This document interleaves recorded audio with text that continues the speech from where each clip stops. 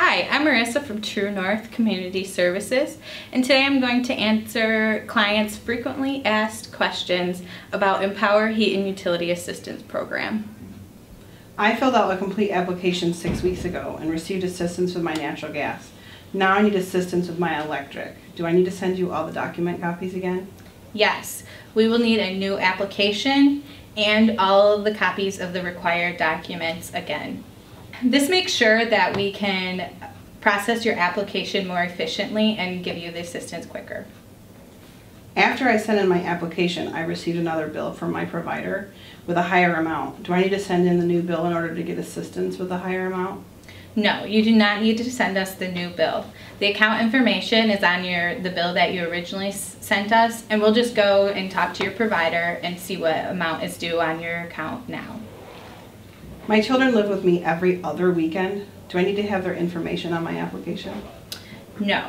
Household members who are in the home 50% or less of the time are not counted on the household. However, if your children or other members of the household are in the home 50% or more, make sure to add them on your application information and we'll need all of their information. How long do I need to wait to receive assistance again?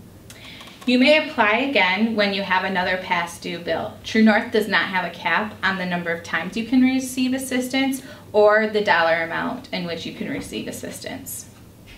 I got married six months ago and I changed my name on my driver's license, but it has not been changed on the bill. Is that okay? Yes, you are still able to get assistance. Please use the name on your ID when you're filling out your application and on page four of the application, in the space where it asks for the name on the account, make sure to use your maiden name there. Can I apply for electric and propane on one application? Yes, you may apply for assistance with your primary heating source and your electric on one application, as long as they're both past due or in need of a refill. I have a shut-off notice. Can you prevent my shut-off? Please make sure you're applying for assistance as soon as you know you're past due. Um, however, if you are in shut-off status, make sure to still send in the application.